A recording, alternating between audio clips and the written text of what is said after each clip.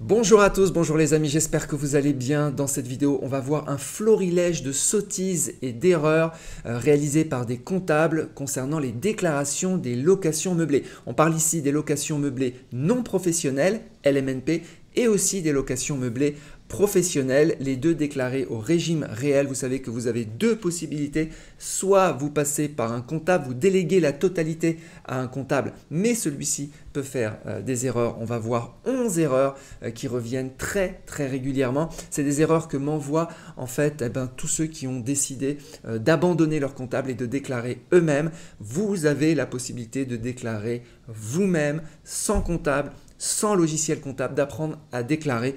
Euh, une des solutions possibles, c'est je-déclare.com. Je mettrai tous les liens en description si vous voulez euh, déclarer, apprendre à déclarer vous-même. Mais si vous, faites si vous faites confiance à un comptable, sachez qu'un comptable peut aussi faire des erreurs. Je vois passer énormément d'erreurs. En fait, c'est des gens qui décident d'abandonner en fait la solution avec un comptable et décident de reprendre les choses en main. Et quand ils, quand ils regardent à l'intérieur des liasses fiscales, eh bien, découvrent des horreurs, euh, des horreurs, des, manquements, des, des sottises, des, choses qui ne sont pas optimisées, et puis beaucoup d'erreurs, hein, des erreurs de déclaration. Alors, on va en voir quelques-unes. C'est l'occasion, si vous avez un comptable, c'est l'occasion d'aller mettre le nez dans les liasses fiscales et de vérifier les 11 points que je vais, euh, que je vais mentionner ici.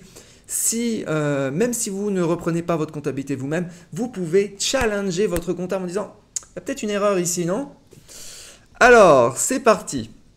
Florilège d'erreurs. Donc, Première erreur, alors là c'est grave, je vais vous montrer, hein, parce que euh, après, après on ne me croit pas, on va me dire Marc, arrête, arrête de raconter des, histoires, regardez-moi ça. Donc là il s'agit en fait d'un euh, client de jeu-déclare.com qui veut abandonner son, euh, son comptable, et je regarde rapidement pour faire coïncider les anciens bilans avec le fichier Excel, c'est-à-dire on transfère tout en fait sur le fichier Excel pour qu'on puisse, pour que la personne puisse faire donc ses déclarations elle-même, et donc on, voilà, on essaye de comprendre en fait ce qui a été fait. Euh, et là, on se retrouve par exemple, voyez ici, charge financière. Là, on est dans la 2033B, on est dans le compte de résultats. Vous voyez, on part des loyers en haut, et puis on enlève les charges, les intérêts d'emprunt, les taxes, etc., dotations, amortissements, etc. Donc on, est dans le compte de résultats. Et puis je vois cette ligne, la ligne charge financière ici, je vois zéro. Alors, c'est possible.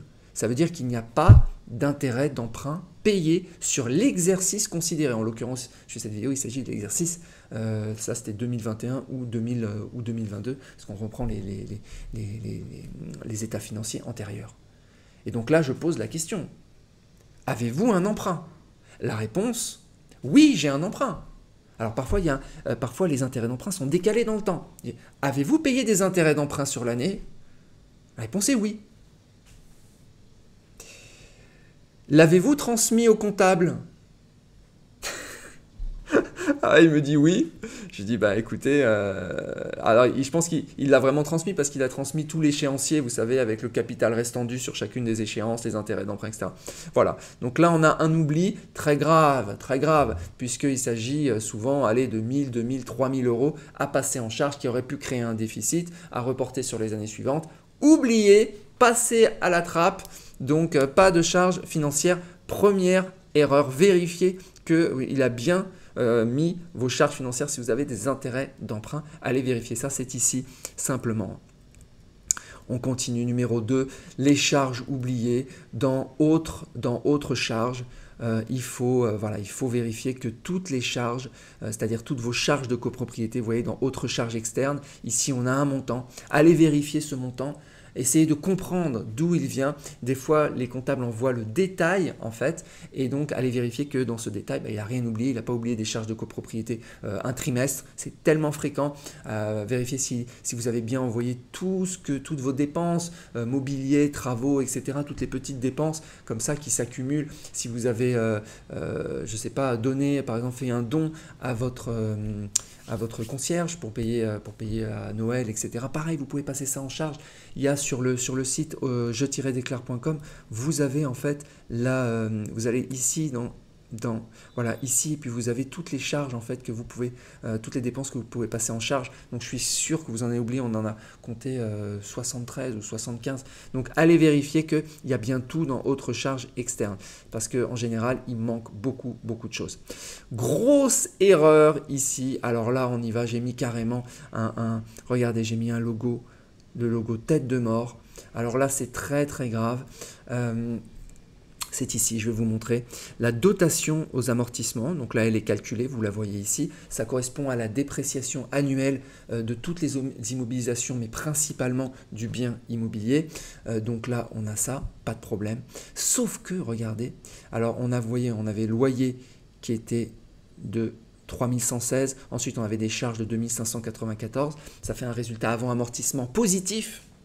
Et donc ensuite on a la dotation amortissement dotation aux amortissements.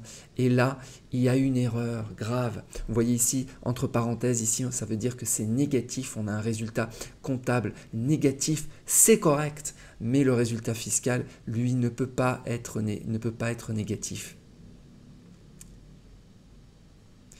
Il ne peut pas être négatif parce qu'il y a une règle en location meublée, c'est que l'amortissement ne peut pas entraîner un déficit il a oublié de mettre les amortissements excédentaires ici.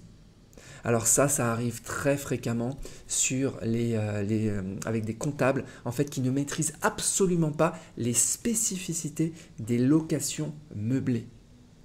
Connais pas. En location meublée, la dotation aux amortissements ne peut pas générer un déficit. On peut avoir des déficits en location meublée, mais des vrais déficits. C'est-à-dire, en fait, loyer moins charge, moins taxes, moins intérêt d'emprunt. Si ça c'est négatif, c'est un vrai déficit. Mais il ne peut pas être déficitaire à cause des amortissements. Ça crée ce qu'on appelle des amortissements excédentaires reportables sans limite de temps. Grosse erreur ici, donc c'est faux. Son résultat fiscal est juste faux. Ça veut dire 2033 fausse, 2031 fausse, 2031 bis fausse, 2042 C pro fausse. Et vous savez, c'est incroyable. Quand on, quand on, ensuite, quand, euh, si vous dites ça à votre comptable, il va, il va simplement corriger, il va dire Ah oui, effectivement. C'est tout. Mais tout était faux. C'est un vrai. C'est, tout, ça, tout ce que je vous montre, c'est, extrêmement fréquent. Hein. Je ne fais pas des vidéos tous les jours pour vous montrer toutes les erreurs, j'en fais une par, une par an, mais c'est vraiment grave. Euh, voilà. On continue. Méli-mélo entre les déficits reportables et les amortissements excédentaires, certains comptables ne, connaissent pas la différence entre les deux. En SCI ALIS, on n'a pas ces histoires d'amortissement excédentaire, mais en location meublée, au régime réel, on a des différences entre les deux. Les déficits reportables sont reportables pendant 10 ans en non professionnel, reportables pendant 6 ans en professionnel, et les amortissements excédentaires, eux, sont reportables sans limite de temps. Et les deux ne, ne, fusionnent pas. Il y a un ordre d'imputation entre les deux. Ils ne connaissent rien de tout ça. C'est carrément... Euh, on se demande s'ils ont fait des études. Je vous rappelle que tout ça est détaillé dans les, euh, dans les formations en ligne. Euh, que c'est même pas un modèle à souscription, vous n'avez même pas à payer chaque année. Vous avez une fois la formation en ligne, vous avez le fichier Excel, vous déclarez vous-même et euh, voilà, maintenant dans la formation, on a, il y a, je sais pas, 20 ou 30 vidéos, donc tout est expliqué de A à Z. On continue. Les erreurs, allez, on va accélérer un petit peu parce qu'il y a tellement d'erreurs. Les frais d'acquisition passés en charge alors que les déficits, les déficits reportables ne sont pas utilisés pendant 10 ans. Donc là, pareil, on a la possibilité en location meublée de, mettre les frais de notaire, les frais d'agence, donc tout ce qui est frais d'acquisition, soit les mettre dans la base amortissable, soit les passer en charge. En général, euh, ils ne se prennent pas la tête, ils font soit l'un soit l'autre parce qu'ils ont l'habitude de le faire, ils posent aucune question, mais c'est pas du tout optimisé. en général, ça va créer de gros déficits s'ils les passent en charge, des déficits qui ne sont reportables que pendant 10 ans et qui malheureusement seront perdu après 10 ans. Donc on voit dès le début qu'en fait c'est totalement sous-optimal et que bah, dans, certains cas, il euh, fallait pas du tout les passer, euh, les passer en charge, fallait les mettre dans la base amortissable. Grosse erreur. Voilà. Code part de la durée d'amortissement non explicité, vous savez, dans, le, dans les... Euh, dans les, locations, dans les locations meublées au régime réel, on décompose chaque le bien immobilier euh, par, composant et cette décomposition n'est pas connue, n'est pas explicitée. Donc malheureusement, c'est-à-dire euh, si demain vous avez un contrôle et que vous, avez, euh, vous allez devoir faire appel au comptable et, le payer cher pour qu'il vous aide parce qu'il ne vous a pas transmis ces informations, il n'a pas été transparent euh, sur les, euh, toutes les informations qui vous permettent de, euh, voilà, de déclarer correctement, en tout cas de connaître la décomposition. Donc les codes pas et les durées d'amortissement ne sont pas explicités. Immobilisation qui ne correspond pas au prix d'achat. Parfois on a une immobilisation, vous allez sur la, vous allez sur la 2033A, donc juste un petit peu, un petit peu au-dessus, voilà, 2033A, on est ici, immobilisation corporelle, vous voyez, euh, bah parfois ce montant, on ne sait pas d'où il vient. On n'arrive pas à reconstruire, on n'arrive pas à savoir pourquoi il a pris ce montant, ça ne correspond pas au prix du bien, ça ne correspond pas à une estimation, on n'a rien du tout. Donc ça c'est euh, pareil, c'est problématique, donc pas de transparence là-dessus. Tout ça c'est des, des questions, si jamais vous avez un contrôle, vous ne pourrez pas répondre en fait. Refus de corriger, alors ça c'est un, classique, euh, une paresse maladive. Si vous demandez en fait de corriger, s'il a fait une erreur, par exemple, typiquement euh, euh, les, frais d'acquisition passés en charge ou en immobilisation, il y a une erreur, il a, vous avez oublié de donner des charges, ou il a oublié de, passer les, charges d'intérêt, etc. Plein d'erreurs, d'erreurs sur les années précédentes. Refus de corriger, pourtant on a le droit de corriger. Refus de corriger simplement parce qu'il n'a pas envie de se prendre la tête. voilà, il a déjà fait son bilan, son compte de résultat. Non. Fini.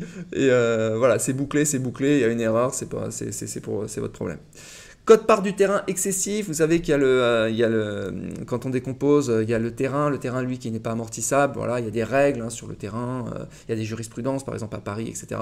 Bon, en général, c'est sur du, c'est du 15%, sur, on a aussi du, du sur des, villes un peu plus petites, c'est du 10%, du 10% par exemple, mais sur, voilà, parfois on voit les comptables qui mettent du, du 30%, 40% sur, sur du terrain, enfin des chiffres complètement aberrants pour des petites villes, on aucun sens, aucune explication de rien, on se retrouve avec une dotation aux amortissements très faible et donc euh, on n'arrive pas à avoir un résultat fiscal qui redevient positif. Non-respect des ordres d'imputation, j'en ai, un petit, ai un petit peu parlé entre les déficits reportables antérieurs et les, amortissements excédentaires antérieurs. Donc là, pareil, c'est deux, deux euh, normalement, voilà, c'est deux choses qui ne, qui, ne, se communiquent pas. Bon, euh, ils ne respectent pas forcément les ordres d'imputation, ils, imputent les déficits avant d'imputer les amortissements, bref, n'importe quoi. Donc, mais ça, vous ne le voyez pas évidemment. Hein, vous vous avez tout été télédéclaré, tout est envoyé euh, euh, par batch à l'administration. Et euh, en général, les gens ne regardent pas, ils ne se prennent pas la tête. C'est juste au bout de 5 ans ou 10 ans qu'ils se demandent ce qui s'est passé. Incapacité à gérer les indivisions et plus les noms propres. Si vous avez des appartements qui sont en indivision et des appartements qui sont en nom propre, là pareil, c'est la, cacophonie totale, sachant qu'il y a au niveau des liasses fiscales, il y a, deux, liasses fiscales, une liasse fiscale d'indivision, une liasse fiscale de nom propre et euh, les deux, après, il faut les mixer pour faire votre déclaration d'impôt des particuliers. Le comptable ne se prend pas la tête, il va vous générer euh, une liasse fiscale. Allez à Jacques S, amusez-vous bien. Voilà les amis, euh, c'est voilà, c'est oui, il y a un risque à faire sa comptabilité avec un comptable, à la déléguer avec un comptable. oui, il y a aussi un risque à la faire soi-même, hein, bien sûr, il hein, faut faire les choses correctement. Mais de l'un dans l'autre, entre comprendre ce qu'on fait et ne rien comprendre, honnêtement, il n'y a pas photo. voilà les amis, je vous souhaite une excellente journée et je vous dis à bientôt. Ciao